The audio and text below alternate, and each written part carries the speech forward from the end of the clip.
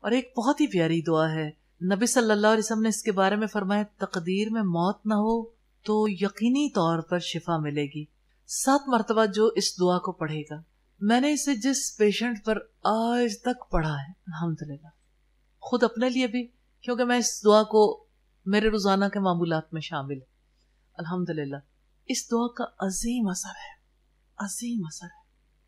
کسی نوعیت کی تکلیف ہے، کسی نوعیت کی بیماری کسی نوعیت کی بے قراری۔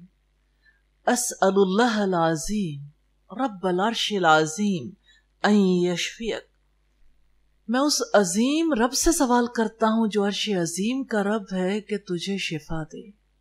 اسأل اللہ العظیم، رب العرش العظیم این یشفیت میں اس عظیم رب سے سوال کرتا ہوں جو عرش عظیم کا رب ہے کہ تجھے شفا دے۔ اسأل اللہ العظیم رب العرش العظیم این یشفیت میں اس عظیم رب سے سوال کرتا ہوں، جو عرش عظیم کا رب ہے، کہ تجھے شفا دے.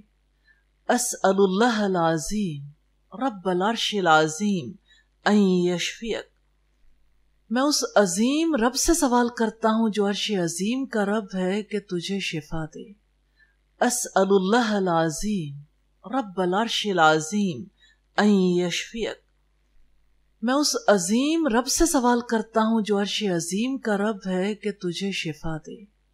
اسأل اللہ العظیم، رب العرش العظیم این یشفیت میں اس عظیم رب سے سوال کرتا ہوں جو عرش عظیم کا رب ہے کہ تجھے شفا دے۔